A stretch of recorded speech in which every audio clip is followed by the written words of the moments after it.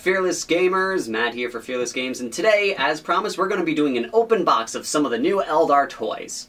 Eldar are now finally released with 6th edition rules, and of course that means I go out and buy all some pre pretty new models to satisfy my love of collecting models and wasting money. So, we're going to go and look at a bunch of cool new Eldar things. We're not going to be looking at the Codex because I pre-ordered the limited edition and because GW kinda hates it if you don't pre-order and send it to your local battle bunker, which for me is in the city and a good $30 train ticket away, uh, that's not happening. So, which is a shame because that probably also means that's going to affect which numbered codex I get because I didn't get the ones that shipped out on Monday, I got the ones that shipped out on Wednesday. It's typical GW, um, you know, punishing you for not having, for them not building a battle bunker near me. Or, or you, whichever. You know what I mean. So, let's dive right into what we've got here.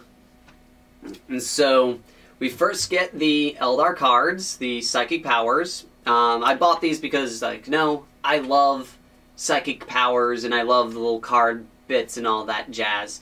And so, let's dive right in and see what we got.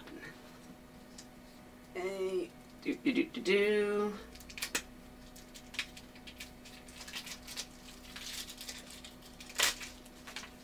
So we first get, you know, a little fancy front cover. Um, we've got one, two, three, four, five, six, seven, seven cards, which have a picture of what looks like a little Farseer helmet on it. Uh, you want to get a close up on that?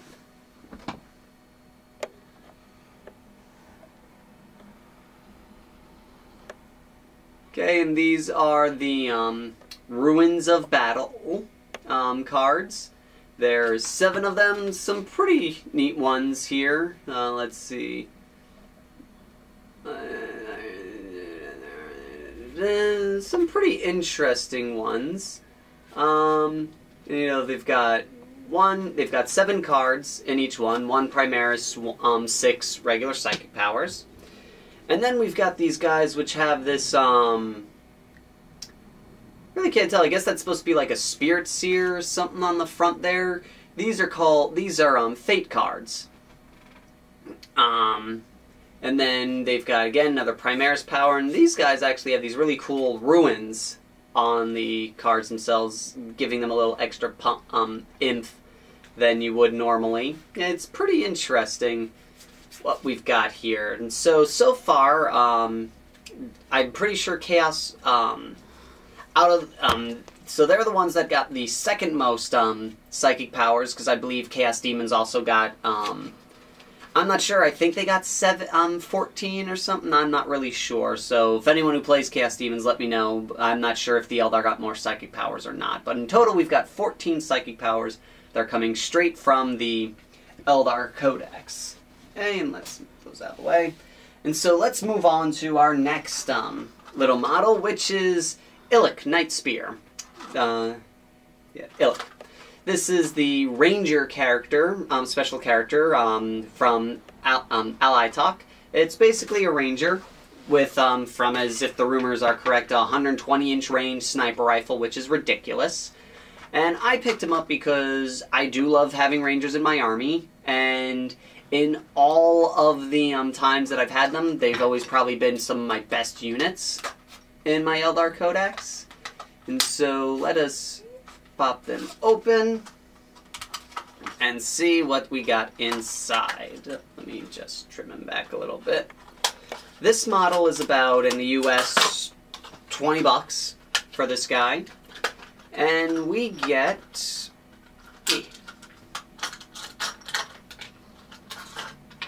Okay, we get our classic, you know, your standard stand.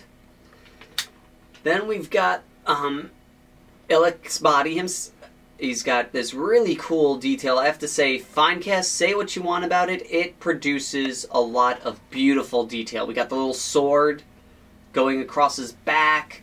We've got in the front here all the little different folds of his hood and the boots. We even have like boot treads on the bottom here that there and the little grenade packs and bullet um, packs going across his belts and everything. You, this is just a bunch of beautiful detail that you can't get anywhere. Like, say what you want about Finecast, you can't argue with the results of how gl- detailed these guys come out with. And of course, usually, in my opinion, now is the time to buy. Um, it's the best time to buy Finecast models is on release day because GW makes it a priority to make sure that each one is practically perfect in every way before shipping it out. That way, no one can go, "Oh, you know, it's a horrible thing," and get some bad, bad um, reviews and publicity just on the release. And your next tray comes with these add-ons. It comes with his little stand, uh, this little like Eldar ruin that he's standing on, that really deadly looking sniper rifle, his hand that you know is kind of like perched out, and his head. And again, like said, no no air holes in this bad boy um, yet. Like said, the next batch will probably have a whole bunch when they're just trying to ship them out. And for the most part, is he worth 20 bucks? I think I would have probably settled more for 15 $17, but that's just me. I, it didn't stop me from buying it, so I would say that it's pretty much worth it for what you're getting. And we'll see how good, again, we'll see how good he is when I finally get to pop open the Codex and see what Phil Kelly gave him. And so now let's move on to our next thing, which is the Wraith Lord, the Wraith Guard kit. This is probably one thing that I got a big humorous laugh at with a lot of the forums. Everyone was always talking about how much the Wraith Knight was and how he's overpriced and blah blah blah because, you know, new fancy super weapon, everyone, you know, should be at really cheap. But everyone kind of ignored that these guys got a price decrease. They normally, it, for six guys, it was 60 bucks. Um, going off the old pewter models, if you could only buy them individually, they were um, $75 for five of them. And now it's 50 for five of them, so they did get a price cut. Plus, you get the ability to turn them into the Wraith Blades as well. And if you're and if you're one of those guys that's big into magnetizing, you can magnetize them up and make them do both whenever and swap between the two whenever you need them to. And so you get that plastic off here. And one thing also I'm going to note before we go off is, is the box art. Really interesting twist, um, turn. I wonder if this is how we're going to see new boxes of old models and re-releases and such get turned into now. Um, I kind of pref- I kind of miss the old, all the terrain in the background feeling, but I do kind of get a kick out of the new look. It's very reminiscent of the Dark Vengeance kit, so this way, and it's pretty interesting, you know, how Dark Vengeance was, you know, 6th edition, and so the boxes kind of mirror the 6th edition starter set, which is, I think, a nice way to tie in, oh, these are new 6th edition models. Pretty neat little marketing thing that they got here. And so we pop these guys open. The first thing we get is, is a box of Terminator stands. Yep, it looks like they went from the old um, regular size troop choice stands into Terminator stands. We've got the instruction manual, which most people are probably going to just chuck this out the window because who needs instruction manuals? Um, then we've got in here uh, no water transfer sheet. That's interesting. I would have thought they would have thrown that in there for the um, for the dome piece on them and just so people had more water transfers. Um, but we get our first tray here, and it's got all the little ghost glaives and power axes, and then we've got some of the the looks like a wraith cannon and the D scythe, individual arms, little spikes, and all this good stuff. Let's see. Mm, just taking a look here. Okay, ah yes, what's interesting is, is they do give you, excuse me, multiple arm configurations to do different setups, so, like I said, if you're good at magnetizing stuff, you can get the, um, you can get this kit to do both setups if you want. Then our next tray, we've got more um, regular troop guys. excuse me. It looks like, for the most part, they're throwing in enough parts like this one was like the main, you know, Wraith Blade conversion kit with one extra Wraith Guard on it. This one is two troopers. Um, two regular guys. We'll notice that they've got um, square peg, um, peg um, slotted um, bits for their legs, but circle hips to basically give them more of a guardian-like pose. So like their legs are fixed in one place, but you can give their um, bodies uh, different shapes depending on their body posing differently depending on how you want to go with them, which is pretty neat. And then you get another third tray with another group to build another um, Wraith Guard. So essentially you've got on two trays you got two, and on another one you got one plus all the upgrades for the Ghost Blades. And so, all in all, it's a really cool kit. Um, I definitely think it's it's worth the fifty dollars. It's a very nice um, break on. It's a very nice um, break for the wallet since all the since all the other times it was 60 75 dollars for Wraith Guard. Now we can get a whole squad for the same price as Terminators for the um, regular Space Marines guys, which is pretty awesome. And so let us move on to a new Eldar model. The um, the Hemlock Wraith Fighter and the Crimson Hunter. Now, I'm just going to outright say I'm not a big fan of the fact that they call it the Hemlock, eh, the um, that Hemlock Wraith Fighter. Um, throwing in the word Wraith Fighter makes it a little bit okay, but you know, I you know because of Battlefleet Gothic, the Hemlock was the name of one of their starships, and so why? It's just name recycling, I know, and I'm basically making a big deal out of nothing, but I'm getting over it. You know, it's starting slowly growing on me. But this kit will do the Wraith Fighter and the Crimson Hunters, the brand new um, Aspect Warrior set that we got for the Eldar. Which makes a little sense, finally, Eldar getting the idea of, you know, why don't we train people to fly our, to pilot our vehicles instead of just throwing any Tom, Dick, or Harry in there.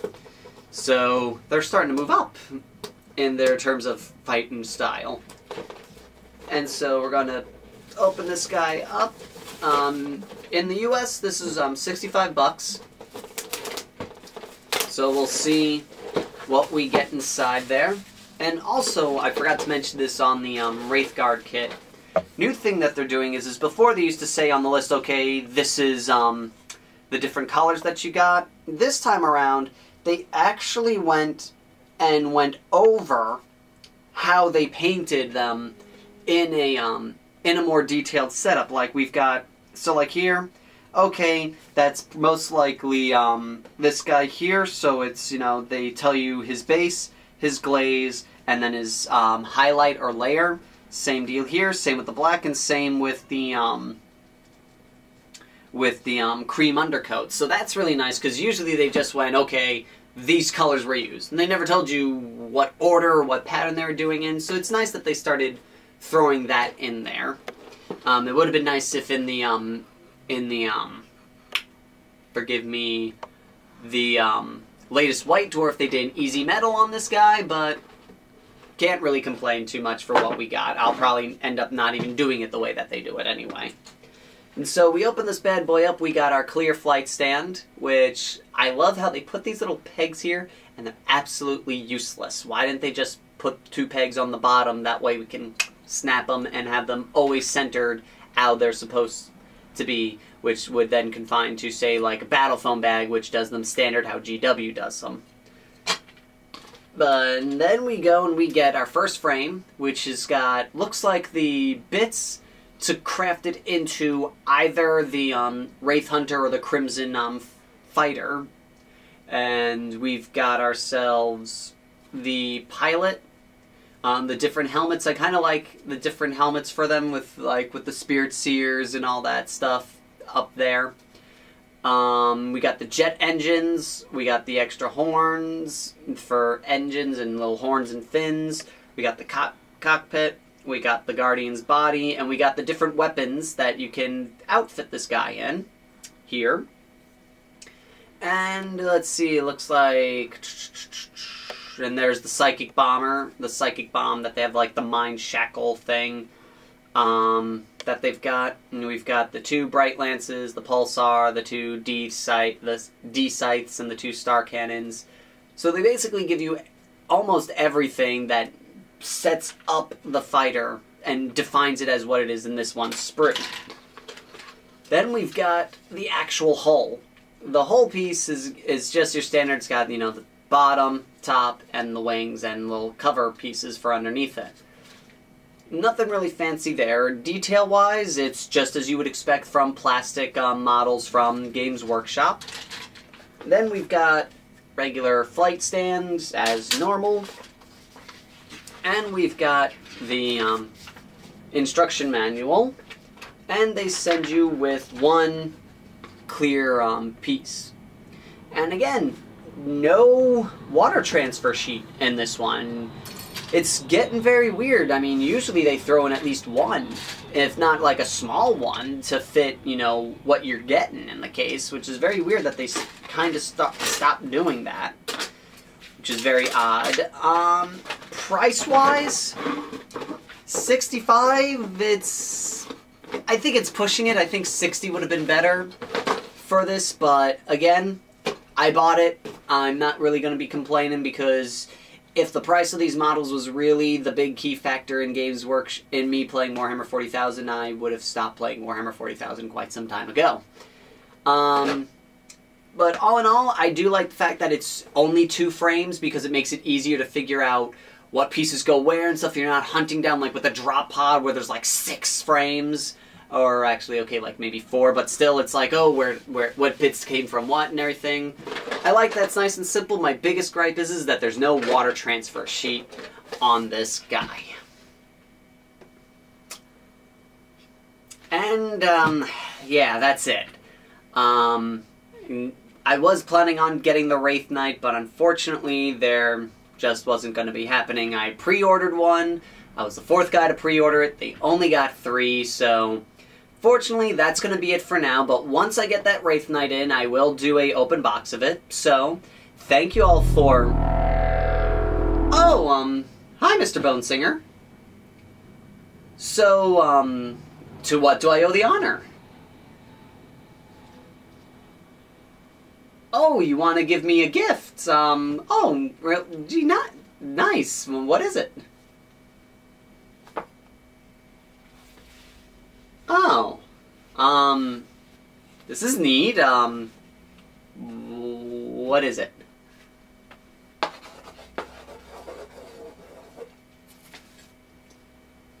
Let's see, uh, a ghost plus a bone equals a ghost bone. Oh, Wraith! Wraith bone! Okay. This is Wraithbone, so that's what it looks like. That's kind of interesting. It's doesn't look anything like how I thought it would.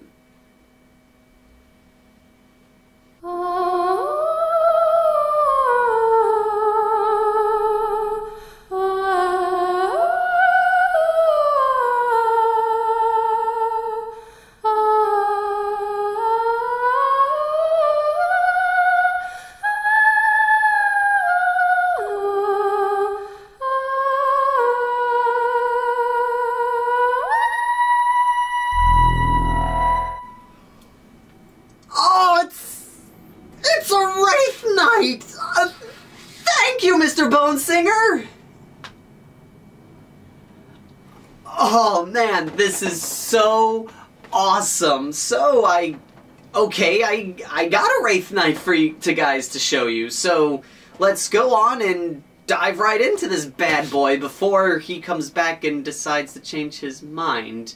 So here we are. It's a um, okay, it's the Wraith Knight. Um, it's $115. Um, everyone's been talking about like how you know if it's really worth that much or that jazz. And we're gonna find out. Um, stat wise right now we don't know but it stands nine inches tall which is three inches shorter than a Revenant Titan which is the small eldar titan. So this is guy is bordering on the apocalypse size with this with this thing so let us um, open it up. The most interesting thing you'll note is that he's not shrunk wrap. Um, I don't know why they decided to go with that, and he's all one box, very similar to, say, like the um, the Wraithguard box set. And so let's go open this up and see what we got here. So, of course, we first get the instruction manual, so you know how to build them. Again, probably not going to use it. Then we've got, ah, finally, a water transfer sheet. Can we get a close-up of that?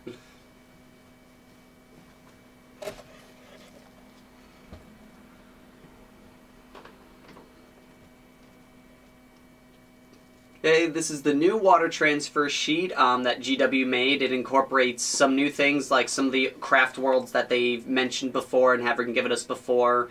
Um, some Crimson Hunter, some Crimson Hunter, um, or Crimson Warrior, I forgot right now, my mind's blanking, um, markings.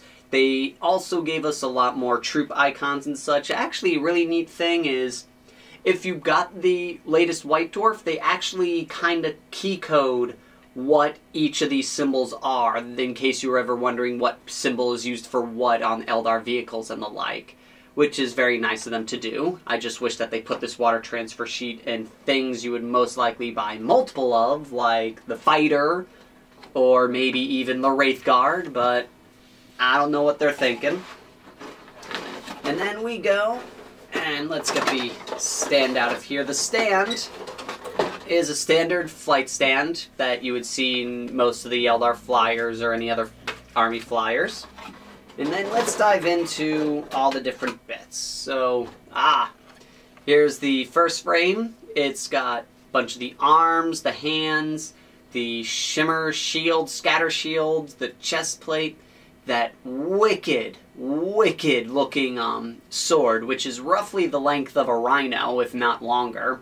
And look at that beautiful detail work in that. They've got the nice little uh, notches in the blade, the runes leading up to the spirit stone, the different fingers, and they even threw in enough detail where the fingers are actually separated so you can see the handle behind it and all the individual joints.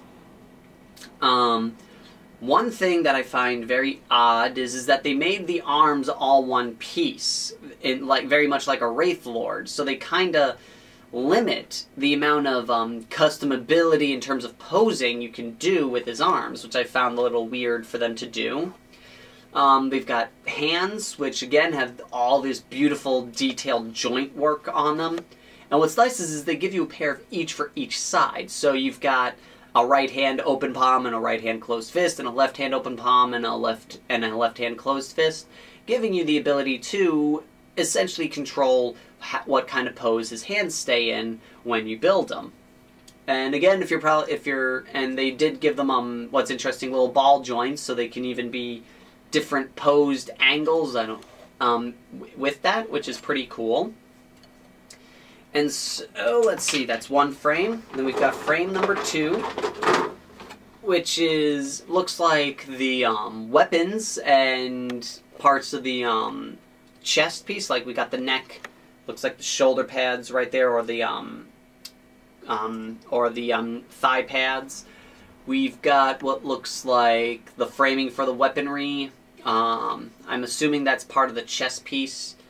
We've got one of the sunbeam cannons, so it looks like he only can have one of those. Two wraith cannons, two, and then you have enough bits to do two star cannons, um, a scat, two scatter lasers, two shuriken Anapults, and what looks like, I don't know what this guy is. It looks like a D cannon, but like in terms of similar shape, it's kind of got the same type of style, but there's differences, subtle differences that I can't really tell what that piece is. I will have to wait until I get the um, get the actual um, codex to see what that is. Again, really great looking detail. What I love about it also is is like they've got They've got detail not only on the top, not only on one side, they have detail on both sides. So you could so depending whatever type of angle you put these pieces in, which most likely would be in multiple types of angles, you're covered. It's not just like a blank piece that oh, that's clearly where the model was not detailed. They went into that factor of what if this part is visible which is that one little extra mile that GW's been going down with a lot of their weaponry lately that just makes it all the better for it. And so then we've got this guy, which is the head, the back fins, and the legs. The legs are the most, um, how shall we say, um, posable because they've got the the joints different. They've got the one in the knee, the one in the ankle, and one in the hip. Um, they've got parts of the chest plate here, um, the feet, and again the heads, which the headpiece, you know, a lot of people are like, oh, you know, not big fans of. It's kind of like a throwback to the old Eldar Knight, which is what this um, vehicle is, I think, supposed to be a reboot of. So they kind of did like a throwback to the armor cast version of the um, model. And what's neat is, is they did put in these little like lock pins for like locked poses of his legs, but they're easily snipped off so you can then have full range of detail with of posability, and they actually kind of built the kit in preparation for that, which was nice. And it looks like again that the feet are on like a ball socket setup, which is really great that they did that. And all in all, I think this kit is really awesome. $130, $115 for it. Um the 15 seems a little weird. I would have thought they would have just capped it at 100 and call it a day. Um, but, you know, it's not 130 like some of the, like some um, Warmachine stuff. And I've seen model kits go for like 120 for that and have less detail and they're charging you more for the size of the thing. Um, so, all in all, I think it's worth it, especially since you get the stinking um, water transfer sheet, which again, why isn't this in every kit? I just don't understand that. Um, one thing that I'm a little upset about is, is some of the um, swords um, I need to do some clever markings with because my craft world has a sword going through a heart and I there I just have to do some clever manipulation to get them off of there. But it's no big deal. But like I said, they sh- this should be in more kits than what it's in because again yeah okay it's in the really big guy because it's a really big water transfer sheet but it easily fits in the other um, boxes except the wraith guard one.